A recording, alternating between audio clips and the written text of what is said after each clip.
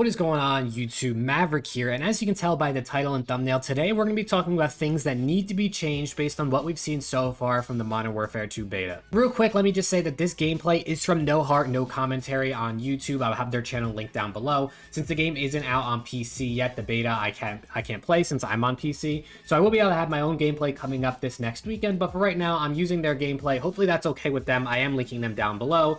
So if you need me to take down this video, just let me know. But yeah, let's just hop into, I have four things to talk about that need to be changed after what we've seen on this beta. Like I said, I haven't played, so this is what I've seen from spectating a, a bunch of gameplay, as well as just seeing what other people have to say online about the game. I think these four things are all very important things and actually things that should be somewhat easy to fix. A couple of them I think they could fix or might actually fix, but there's definitely some that they're I just know there's no way they're going to. The first thing I want to talk about is the time to kill. I mean, I've seen so much gameplay and see people talking about this. It seems like you die really, really fast in this game. Some people have even said it's faster than Vanguard. From what I've seen, I've actually seen people die in like a bullet and a half, which makes no sense, but I've literally seen it happen in some of the gameplay I've watched, which is pretty crazy. So we definitely need to see an increase in the base health. It would be much easier to increase a player's base health than to go through the damage on every single weapon and like, you know, bring those down.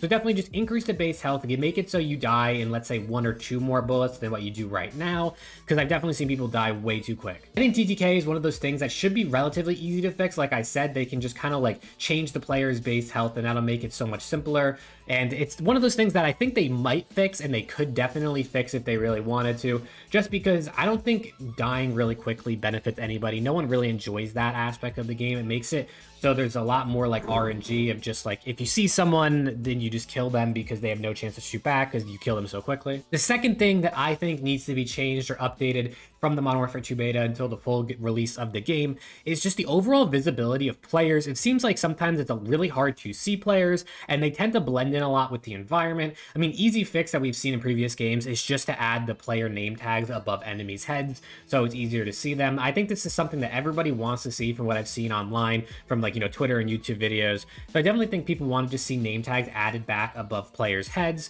which I do think is a super easy fix that they could do. And will they do it? We're not really sure. Maybe because we've seen it in previous games but I think it's something super simple they could do to make the visibility better in this game. The third thing, and arguably one of the more important ones, is Dead Silence or Ninja really needs to be a perk. I mean, just like Modern Warfare 2019, your footsteps are extremely loud. People hear you coming from across the map. There's pretty much no way to flank unless you have the Dead Silence field upgrade. And as what I, from what I've heard, it seems the camping isn't as bad in this game as it was in Modern Warfare 2019. It seems like the map sort of lead to a playstyle of moving around a little more than we used to see in Modern Warfare 2019, which is good.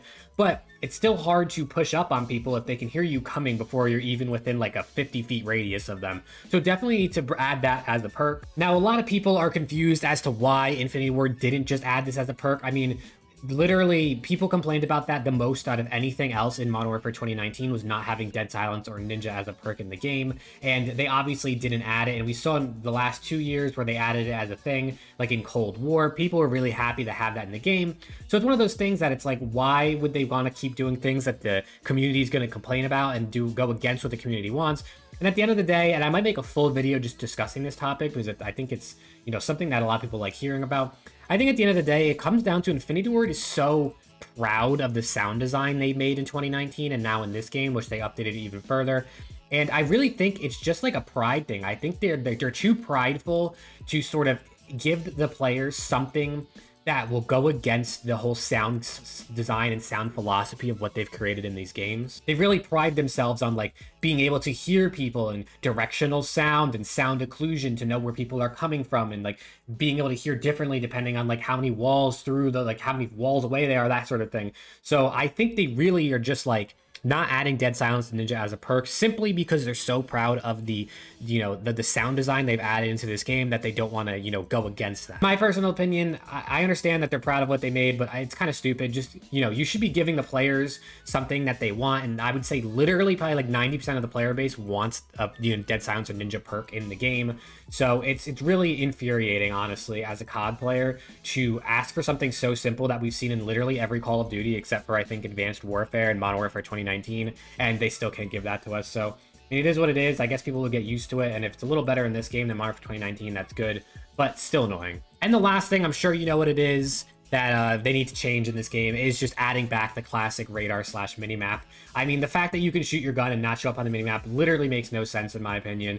Uh, obviously, the UAV spam will always be a thing, and people love you running UAVs, but the fact that you literally don't show up when you hire an unsilenced weapon is, is so dumb. It goes against everything that, like, Call of Duty built upon over the last, like, 15 years, so it doesn't really make any sense in my mind for them to do this, especially because they had the classic minimap in the game in like an early alpha place playthrough, like um, early alpha version of the game that they had for creators and press way back in like June or like May. I'm pretty sure. I think like Ghost of Hope saying back in like May was in the game for normal radar, and he was super excited about that. And then they looked at him like he was stupid and told him it was like a bug and it won't be in the game.